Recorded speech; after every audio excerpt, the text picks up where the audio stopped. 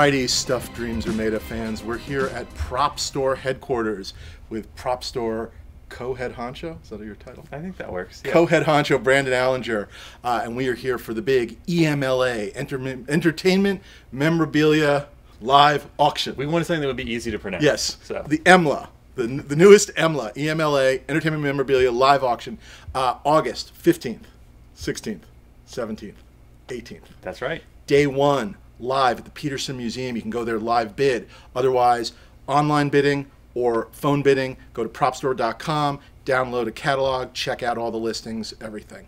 Uh, we're going to start with Harry Potter because you have a really nice selection of Harry Potter.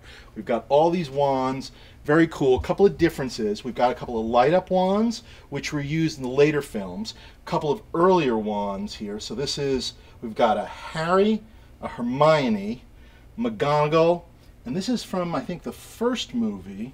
This is an early one, um, which is kind of cool when they were made of wood, The turned wood. Yeah. the turned wood, which is really pretty.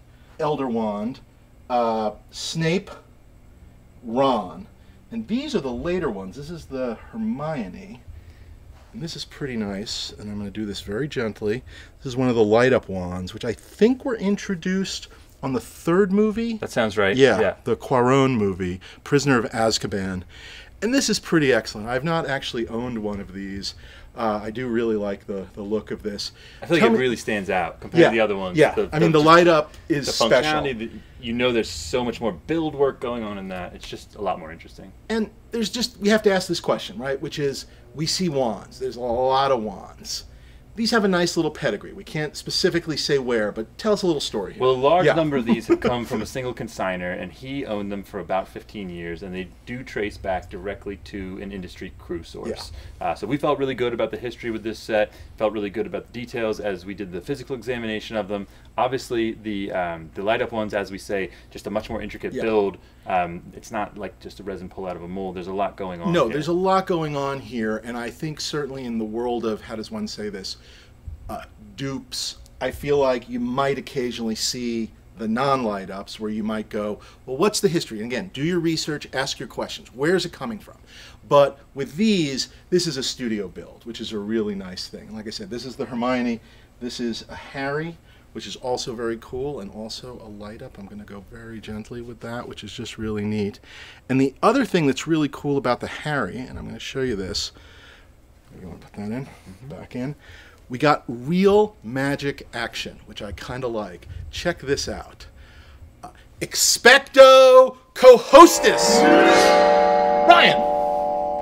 Ryan, welcome to the hottest spot in Valencia, where it is 400 degrees in this Really and warehouse. truly. Yeah, I'm sweating, and I'm wearing white gloves, and I'm just dripping with sweat. But welcome. We're sharing a frame. There's crossover. This is real. This is not CGI, although obviously we spent a lot of money on that effect. Uh, we've got incredible Harry Potter props. Check this wand out. Thank oh my you. god, Oh, you're not wearing a I white can't glove. do it. Here. I'll get you some gloves. Expecto Glovis. Just put them on slow mo, as slow as you humanly can. That's what people want to see. While he's putting the gloves on, I am going to point out that in a lot of the videos, uh, I've really enjoyed, especially the Star Trek fans, bitching about a how we're touching the props. Well, guess what I do when I'm at home? I touch my props, uh, and also everybody with oh he's waving his arms. It's called being a Jew. Okay, that's how I talk. Guess what? I've been doing this for 53 years. I've only broken like 37 props, so it's fine that I do this. Okay, you see that audience? Woo! Jewish guy moving his arms. Anyway, pretty great. This is the invitation to Hogwarts. What you're looking for on these invites, there's two versions. There's a printed version because they needed them all to fly around, uh, and those do not have this wax seal. The wax seal.